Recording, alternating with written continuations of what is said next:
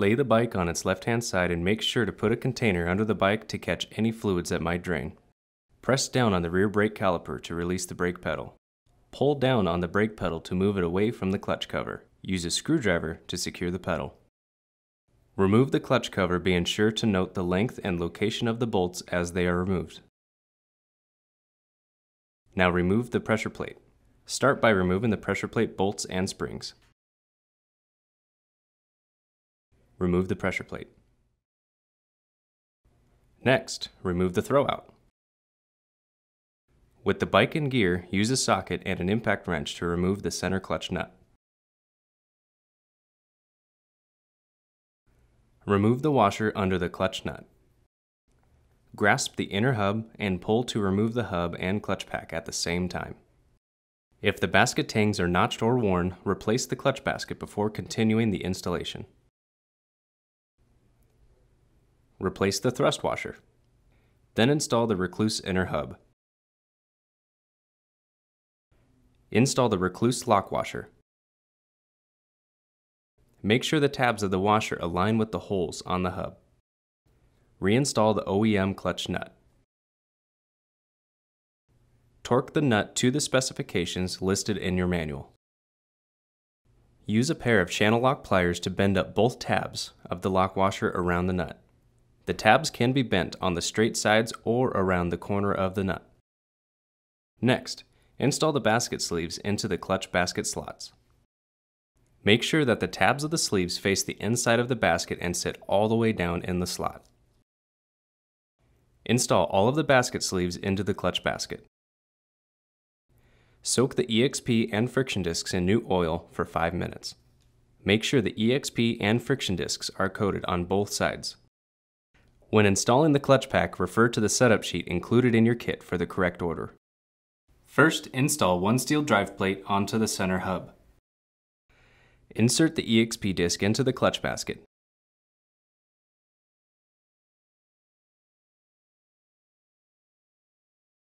Add a steel drive plate. Follow the steel drive plate with a Rekluse thin friction disc. Alternate steel drive plates with friction discs for the entire clutch pack.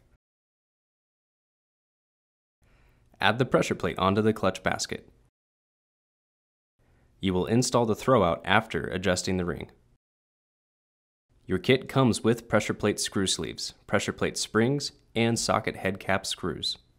The screw sleeve fits into the spring, and then the cap screw is inserted.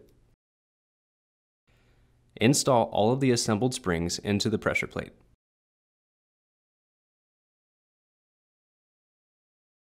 Unlock the locking pin by pushing the pin down and turning a quarter turn until the spring releases. Use a screwdriver to turn the ring counterclockwise until the ring stops with moderate pressure. Check the ring and make sure it is tight against the pressure plate.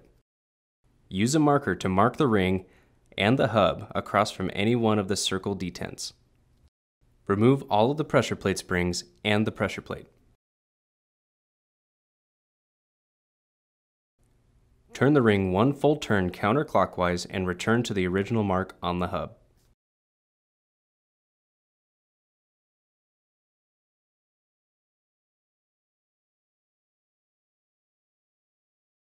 Continue to adjust the ring according to the directions in your install manual.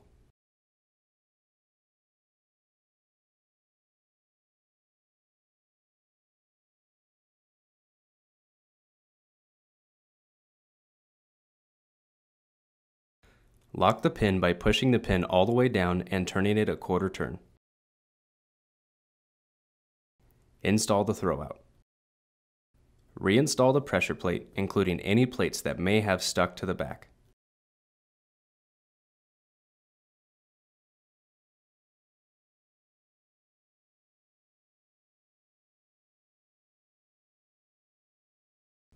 Install your OEM gasket. Then install the Rekluse clutch cover, being sure to install the bolts into the proper location.